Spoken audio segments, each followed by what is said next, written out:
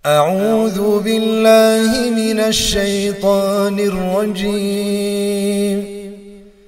بسم الله الرحمن الرحيم.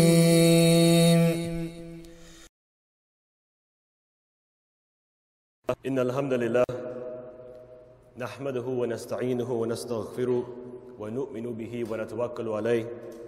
ومن شرور أنفسنا ومن سيئات أعمالنا من يهدي الله فلا مضل له ومن يضلل فلا هادي له. وأشهد أن لا إله إلا الله وحده لا شريك له وأشهد أن محمدا عبده ورسوله. يا أيها الذين آمنوا اتقوا الله حق تقاته ولا تموتن إلا وأنتم مسلمون. يا أيها الناس اتقوا ربكم يا أيها الذين آمنوا اتقوا الله وقولوا قولا سديدا. يصلح لكم أعمالكم ويغفر لكم ذنوبكم ومن يطع الله ورسوله فقد فاز فوزا عظيما. فإن أصدق الحديث كتاب الله وخير الهدي هدي محمد صلى الله عليه وسلم وشر الأمور محدثاتها وكل محدثة بدعة وكل بدعة ضلالة وكل دلالة في النار. أما بعد What if What if today was the last day in Ramadan? And this afternoon was the last time you would break your fast and tomorrow was Eid? How would you feel? And I ask myself, how would I feel? What would be my thoughts and emotions? Would I feel like I blew it? Like I didn't take enough advantage? I still spent too much time following the news, watching TV, maybe even listening to music. I didn't come to the masjid enough. I didn't recite Quran enough. I missed too many fasts. How would you feel if today was the last day in Ramadan? Would you be full of regret? Would you have to tell yourself, okay, man, don't think about it. Next year I'll try again. Actually, next year it's going to be harder. Are you scared of the fast? Is this your feeling? If so, would this be your feeling rather? Don't despair. We have two thirds of Ramadan left. We have 20 days left to make sure that when the last day of Ramadan comes and when Eid comes, we can celebrate. As Allah subhanahu wa ta'ala says, وَلِتُكَبِّرُوا اللَّهَ عَلَى مَا حَدَاكُمْ On the day of Eid, why do we do takbir? Allahu Akbar, Allahu Akbar. Why do we do that takbir in a big chorus? Because we celebrate the change that we've made in Ramadan.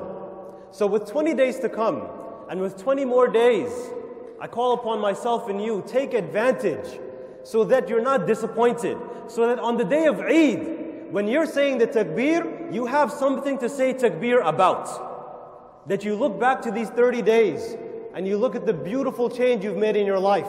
That you took full advantage of Ramadan.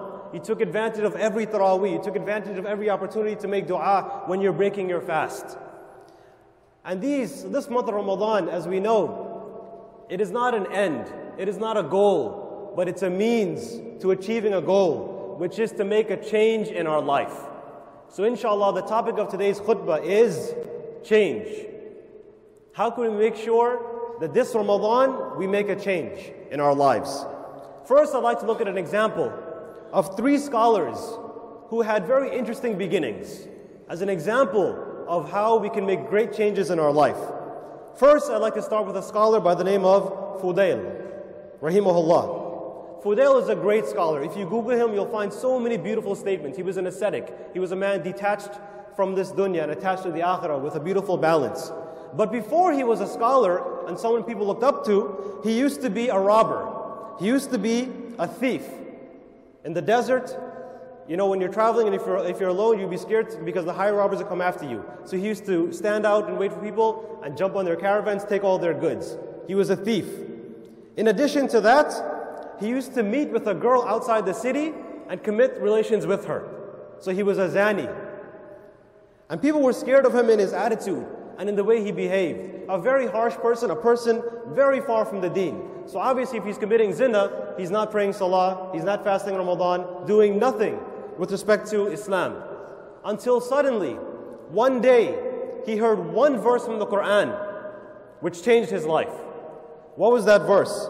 Allah subhanahu wa ta'ala says, ألم يأني للذين آمنوا أن تخشى قلوبهم لذكر الله وما نزل من الحق ولا يكونوا كالذين أوتوا الكتاب من قبل فطال عليهم الأمد فقست قلوبهم وكثير منهم فاسقون. He heard this verse and his life changed. And when we hear the translation of this verse, I hope your life changes too. Because these, this verse should rock your heart. It should shake your heart. Allah subhanahu wa ta'ala says, Hasn't the time come for those who believe that their hearts should be shaken and they should be affected by the dhikr of Allah, by the Quran that they're hearing every single night in Taraweeh? Isn't it time? Hasn't the time come that this Quran, that it affects your heart? We know Allah subhanahu wa ta'ala says that if the Quran were to, be, were to be revealed on a mountain, the mountain would crumble. So what's up with our hearts then that are so hard that when we hear the beautiful recitation of Quran, we're not drained into, in tears? What's, what's going on with us? We're not affected. Isn't it time that you're affected? And if you're not being affected, ask Allah that tonight when you pray Tarawih, your heart is affected. So Allah subhanahu wa ta'ala says in this verse, hasn't the time come? Hasn't enough Ramadans passed that we haven't made a change? Hasn't the time come? Hasn't it passed already? But Allah subhanahu wa ta'ala, He is Ar-Rahman. So He gives us chance after chance after chance to make a change and to return to Him. Another example, and I mentioned this scholar two weeks ago, Malik ibn Dinar. Malik ibn Dinar, another great scholar. If you go home and Google him, you find so many amazing things he did in his life. But he wasn't always like that it would shock you and it would surprise you that this scholar, this great scholar, he used to be an alcoholic. And not just a normal alcoholic, he was a serious alcoholic. He had a serious problem. And he never used to pray. He used to drink so much that when the time came for marriage, no one would give their daughter to him. No one. Because they knew the kind of person that he was. And so, in order to get a wife, he had to go and buy a slave and marry her. That's the kind of person he was. And then he had a child with this slave, he had a daughter. And one day he was drunk, he was playing with her, and he killed her. So here's a man who used to drink alcohol, he used to never pray. He killed an innocent child. But he understood, even despite all that, that Allah is Ar Rahman. There's always a door open for you and I to return to Allah subhanahu wa ta'ala. And definitely we haven't come to this level of sin, which is why I bring these examples. These are very extreme examples. And another example, another scholar, Abdullah ibn Mubarak, rahimahullah, another great scholar. And he as well, he used to drink all the time. He used to throw parties. He used to throw parties. He used to have raves, you can say, and bring people to his house to drink alcohol. He used to play instruments.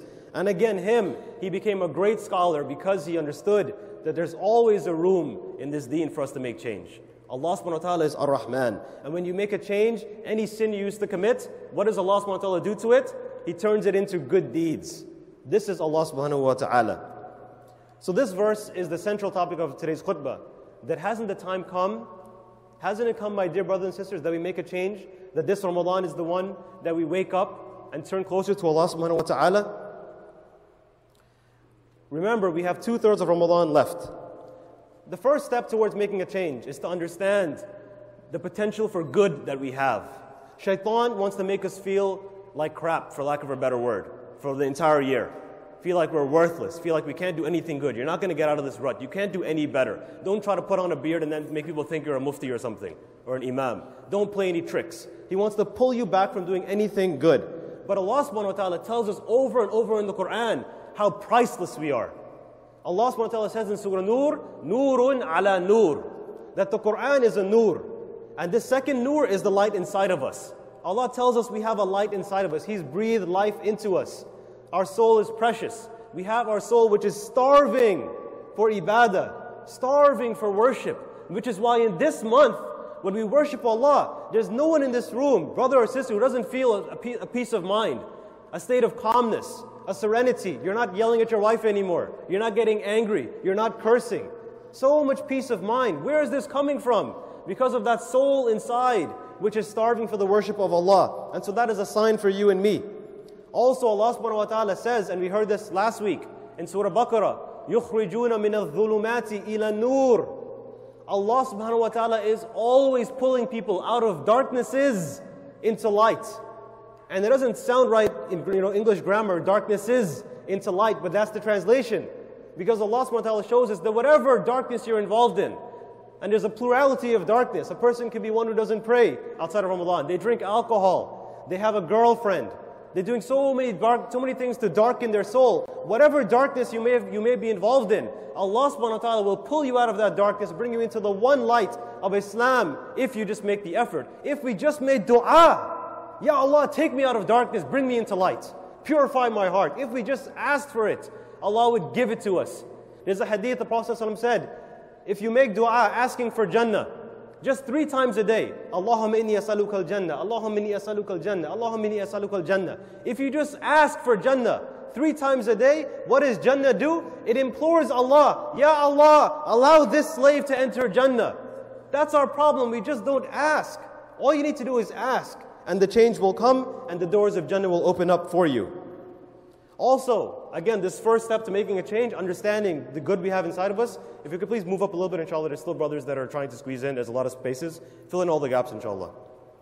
Another sign that we have good inside of us. You have potential for good. And this is, inshallah, motiva- motivation. So you push away those thoughts from shaitan that's telling you, you're worthless, man. You can't make that change. The Prophet ﷺ told us a beautiful hadith, and I love this hadith. I can't believe I, you know, so much of my life went on, I didn't hear this hadith.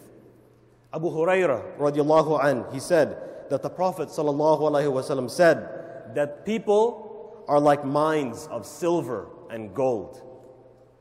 The Prophet sallallahu alaihi wasallam is saying that you and you and you and you, you're a gold mine. What's the value of gold nowadays?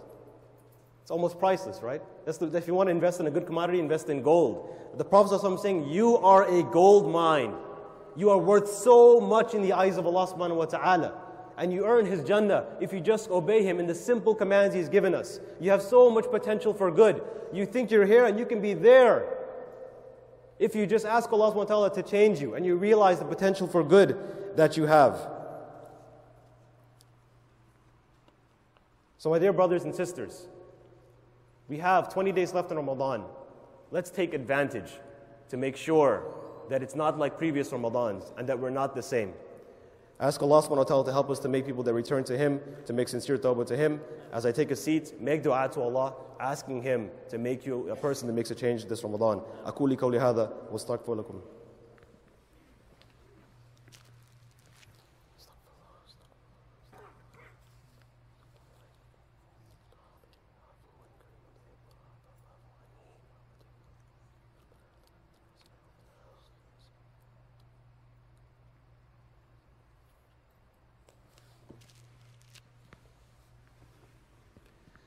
Alhamdulillah. Alhamdulillah wassalatu wassalamu ala rasulillah. So what's our action plan for change? Inshallah, I want to lay out six steps for how we can make a change this Ramadan. If you can just grab one of them, that's good enough, inshallah. I'm going to give you six. Number one, first and foremost, make dua to Allah subhanahu wa ta'ala. If you want to make that change, if you want to finally become a good Muslim, following the Prophet ﷺ in his way, if you want to have the courage to start growing a beard, if you want to have a courage to start putting on hijab, if you want to have that courage, it's not going to come from you alone. It's going to come from Allah subhanahu wa ta'ala. Any good we have in our life, it's not from our own doing. It's from Allah subhanahu wa ta'ala's blessing. If you have a marriage and it's blessed, it's not because you and your wife are smart and you figured it out. It's from Allah subhanahu wa ta'ala. So every good we have starts and ends with dua. Take advantage of the dua. Take advantage of dua at the time of breaking your fast. Take advantage of dua anytime during the day, when you're in the elevator at work, when you're in the subway, when you're on the bus. Make dua throughout Ramadan. One thing I recommend that you do, and it's something that I did which really helps, make a list. When you go home today, take out a piece of paper, write down all the things that you need, all the things that you want.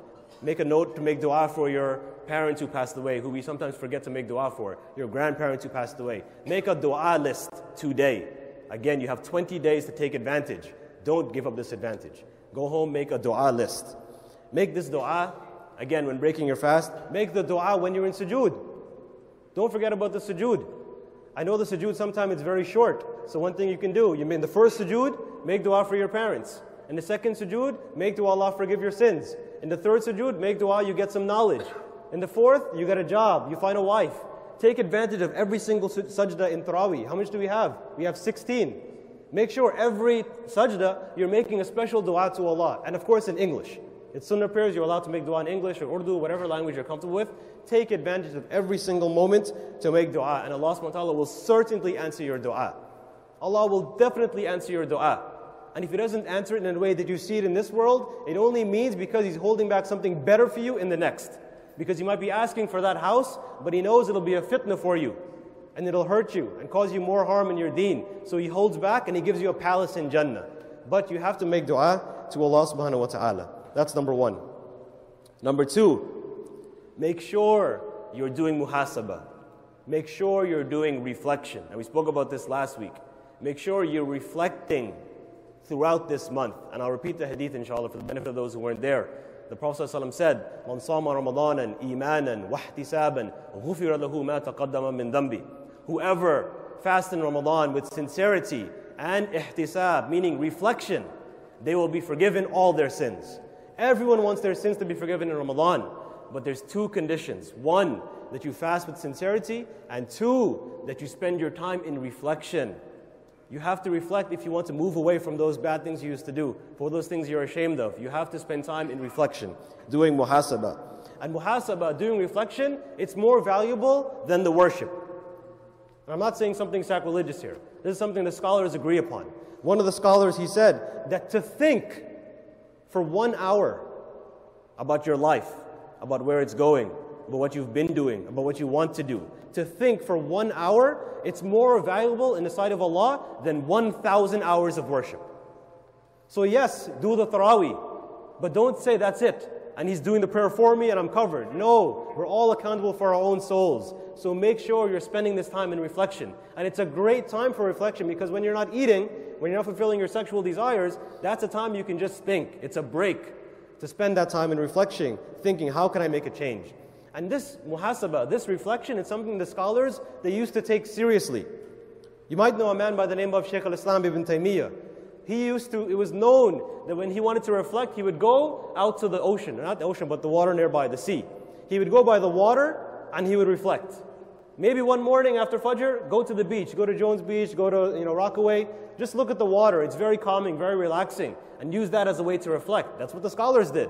So let's follow what the scholars did. Take yourself outside of your home. You're not, you can't just reflect in your home. You need to change your environment. Again, another scholar by the name of Habib al-Adawiyah, he used to go on the roof of his house and just reflect. Again, because you can't do it when you're in the same surroundings. You know, the word for a traveler in Arabic, it's musafir, right? And this comes from a word which means to discover. Because once you travel outside of your village, you travel outside of your city, you leave New York, go to Jersey, go to Philly, you're outside of your, your surroundings, that's when your mind is free, and that's when you can discover yourself. And that's the, the, the beauty of the Arabic language. So musafir, person who travels, but a person who is involved in, a, in, a, in, a, in, a, in, in self-discovery. So you need to leave your home, go out somewhere, go to a masjid where people don't know you, where you're not going to spend the whole time talking. Go to an Arab masjid if you're, if you're Guyanese. Go to a Guyanese masjid if you're Arab. You know, go from go a place you're not comfortable with, where you're just going to be focused on that salah so that you can do some true reflection. And there was another scholar, I guess he was rich. He had a special home he would go to just on Fridays. So he had a special apartment, a special home. He would leave his family, leave his kids, and he would spend his entire day there just to reflect. And that's the importance of reflection. And again, it's a condition for us to be forgiven in this month. Number three, action plan. And I put this in the middle, and it's one of the most important points that I want to share today, which is one of the main things we need to do as an action plan for Ramadan is leave sinning.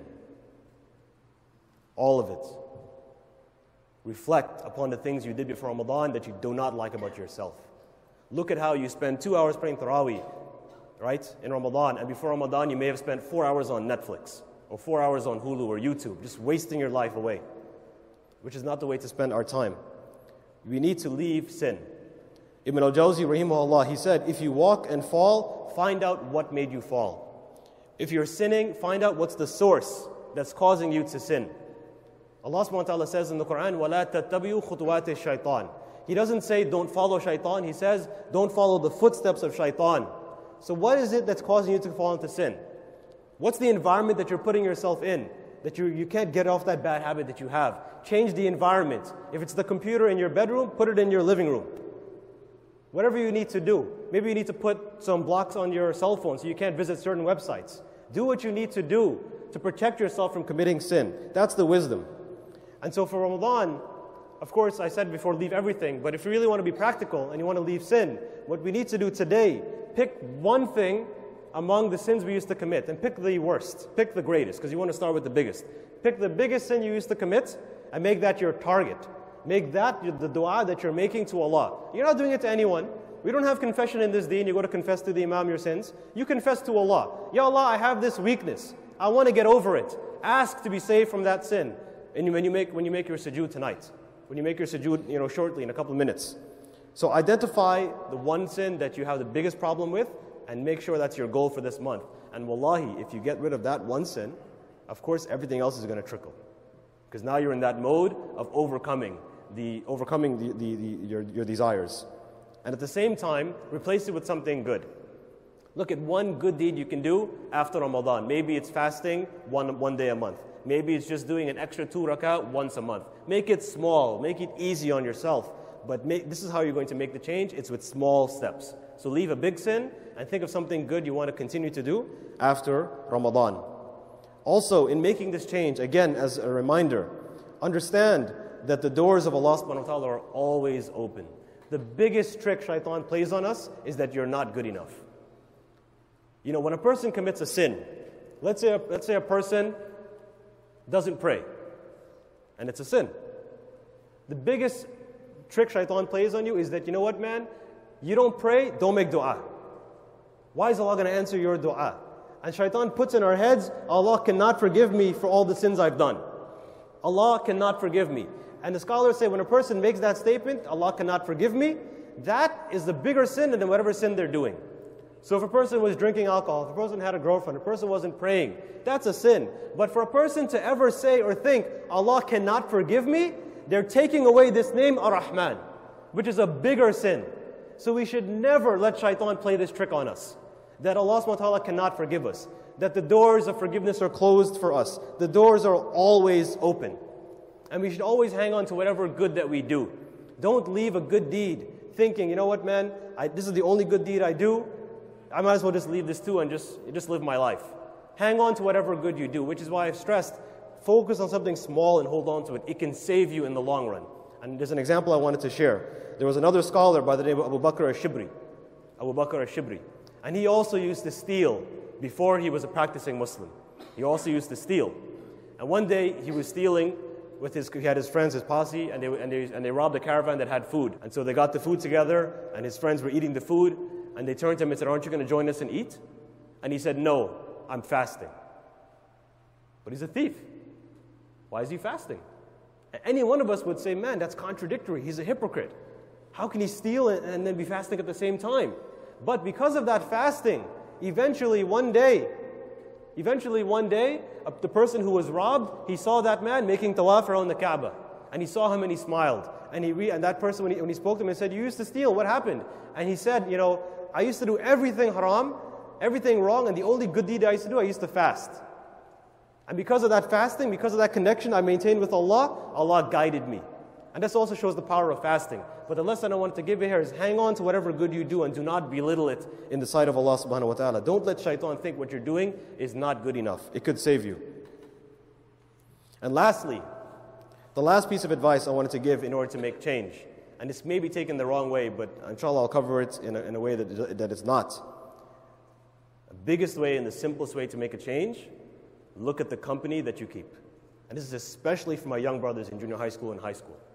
Look at the company that you keep. The Prophet ﷺ, he said, Al maru ala dini khalilihi. A person is on the religion of their friends. And that doesn't just mean if your friend is Christian, I'm going to become Christian. If your friend is Hindu, he's going to become Hindu. No. Over here, it means deen. It means their way of life. Meaning, if your friend is someone who drinks, eventually you're going to fall into drinking as well. If your friend is one who has girlfriends, eventually you're going to fall into that as well. If your friend is a girl and she doesn't dress properly, you too, you're going to start dressing improperly. Al maru ala dini khalilihi. If you want to make a change in the simplest way, just look at the company that you keep and strive to have friends who are better than you in, in terms, of their, uh, in terms of their religion. Not that they're going to put you down, but they're going to lift you up. Look for a good company that's going to give you good advice. And that's one of the simplest way to make a change. So we ask Allah subhanahu wa ta'ala to help us because only Allah subhanahu wa ta'ala can help us. We ask Allah to help us to make a change in this Ramadan. We ask Him to give us the ability to leave those sayyat, to leave those sins we used to commit before Ramadan. We ask Allah to help us to capture some of the good we did in this Ramadan and maintain it in our life moving forward. اللهم صل على محمد وعلى ال محمد كما صليت على إبراهيم وعلى ال إبراهيم انك حميد مجيد اللهم بارك على محمد وعلى ال محمد كما باركت على إبراهيم وعلى ال إبراهيم انك حميد مجيد اللهم انك عفو كريم تحب العفو فاعف عنا برحمتك يا غفور رب ارحمهما كما ربياني صغيرا ربنا ظلمنا انفسنا وان لم تغفر لنا وترحمنا لنكونن من الخاسرين ربنا آتنا في الدنيا حسنه وفي والآخرة حسنة وقنا عذاب النار وأقم الصلاة.